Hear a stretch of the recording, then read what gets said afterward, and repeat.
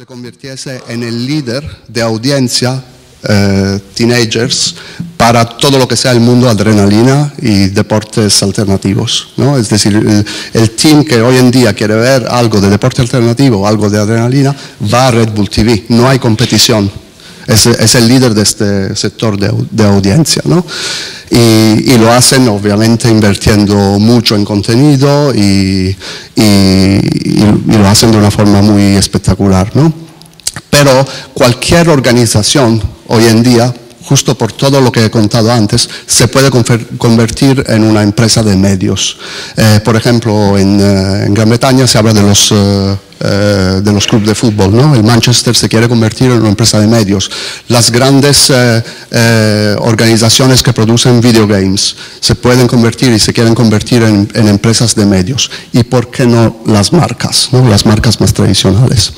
Entonces aquí os enseño rápidamente dos case studies. ¿no?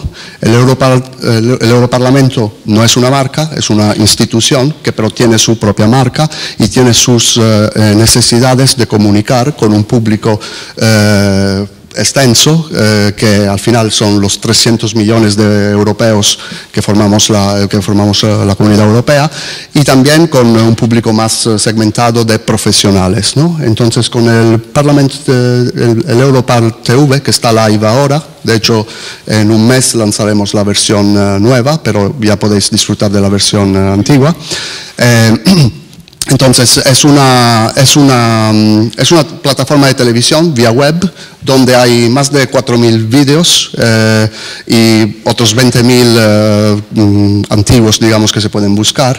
Y el Parlamento Europeo la utiliza para comunicar. Entonces, tenemos eh, desde noticias a lo último de las sesiones del Parlamento Europeo y, y todo esto está disponible para todos los europeos, eh, bueno, to, todo el mundo puede, puede verla.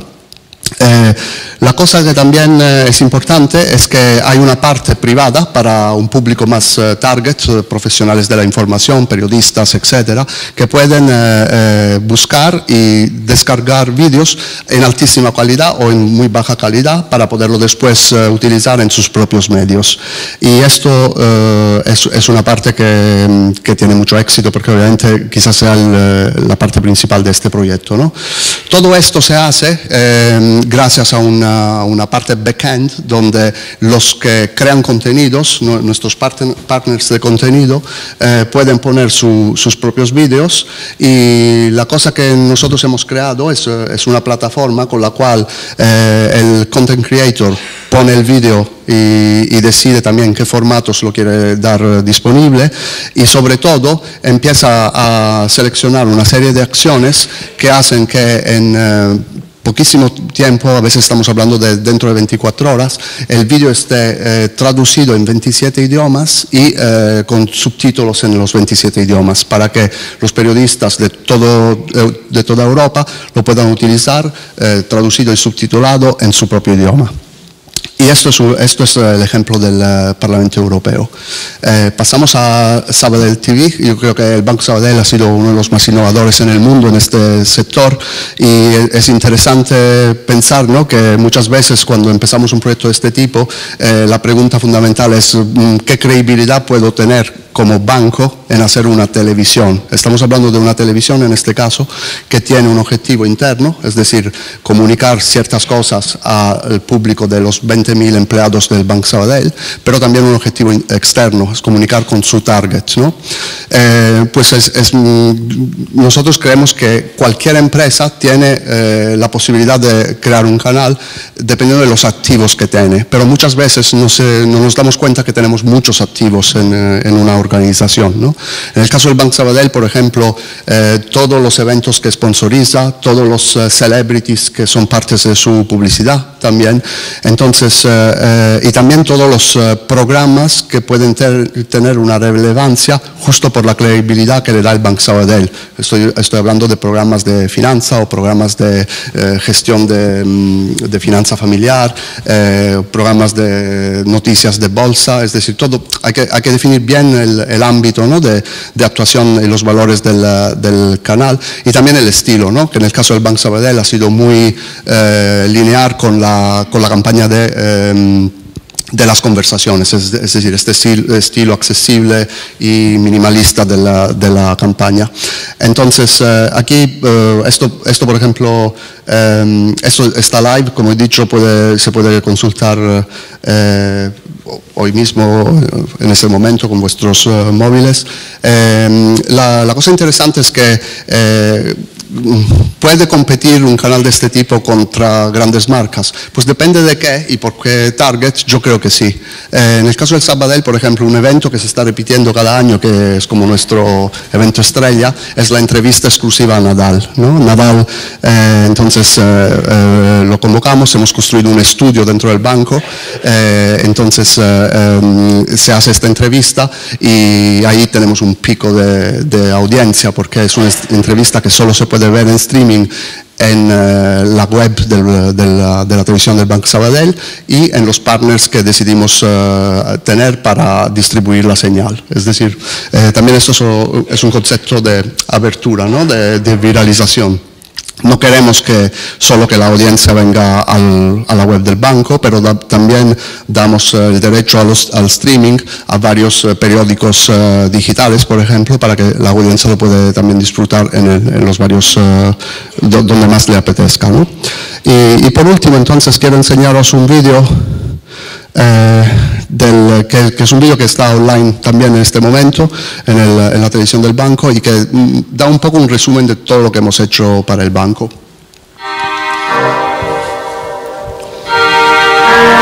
Mm, ¿Qué es la Dirección de Comunicación Audiovisual? Buena pregunta. Bien, la definición sería el equipo transversal que se dedica a la producción y cobertura audiovisual y a la posterior difusión de los contenidos del banco.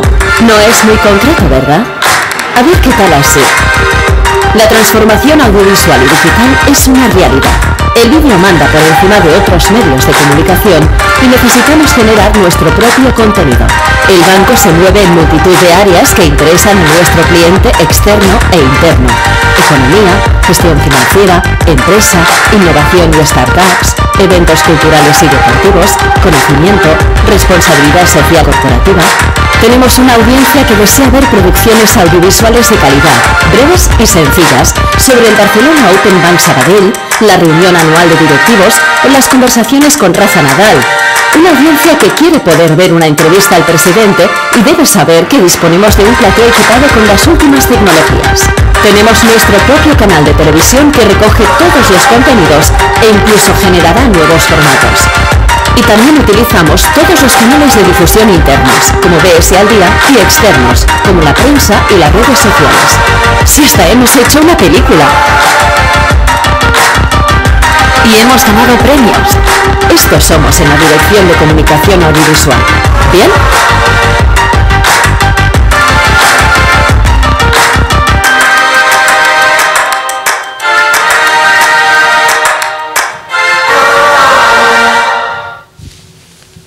Vale, como habéis visto, mm, el banco ha hecho de todo. Hemos llegado a hacer una película también, es verdad. Y mm, eh, hay muchas oportunidades por el tema de sponsorizaciones, los festivales de jazz, eh, etcétera. Lo tratan como, como un canal, eh, como pudiese ser cualquier otro tipo de canal, y tiene excelentes resultados. Y con esto acabo mi presentación. Gracias.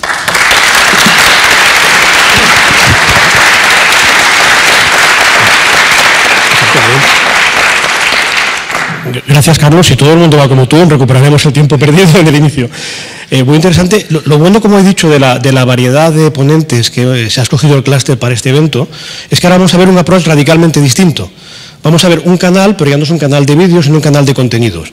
Además, un canal que, según tengo entendido, está calentito, calentito, recién salido, recién salido del horno, eh, que es el canal Alma de la Caixa. Nos lo va a presentar eh, la directora de marketing digital de la Fundación Bancaria La Caixa, Cristina Baima, al igual que en el caso de Carlos, Cristina tiene una buena experiencia en el mundo de la publicidad y de la publicidad de marcas.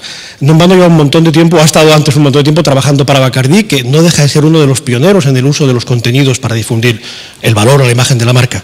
Y le acompañará el, alma del proyecto, digamos, como comunicación, que es Jordi Rosas. Eh, creo que no hace falta presentarlo. En el mundo de la publicidad, Rosas ya es un nombre conocido, que dirige su propia agencia, que es Rosas y que, como digo, está detrás de este proyecto también ayudando a la Caixa. Entonces doy paso a Beatriz Baima y a Jordi Rosas.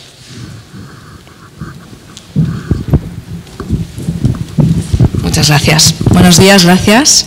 Gracias por invitarnos. Em, yo quería agradecer también que está aquí parte de mi equipo, Alba Colomer, que sin ella y sin el partner de Rosas hubiera sido imposible hacer este proyecto que nos hace mucha ilusión presentarlo por primera vez aquí porque ha visto la luz hace 10 días, 15 días como mucho, y creemos que es un buen ejemplo para lo que hoy eh, estamos aquí estamos compartiendo entre todos.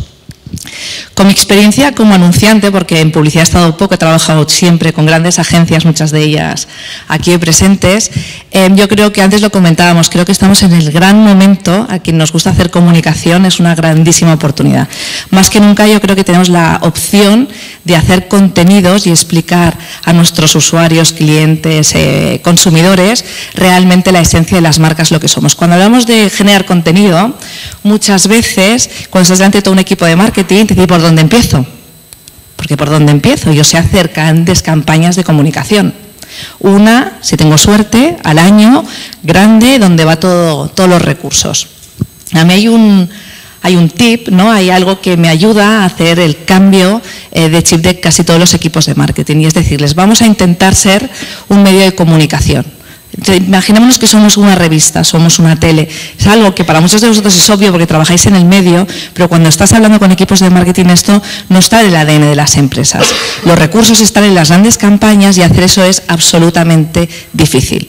Primero porque no saben por dónde empezar. Cuando la primera clave es tenemos que hacer algo que sea estratégico, que ayude a que las marcas generen más venta más facturación y más retorno a la compañía. Si empezamos por ahí, empezarán a ver todo el mundo nos empieza a seguir.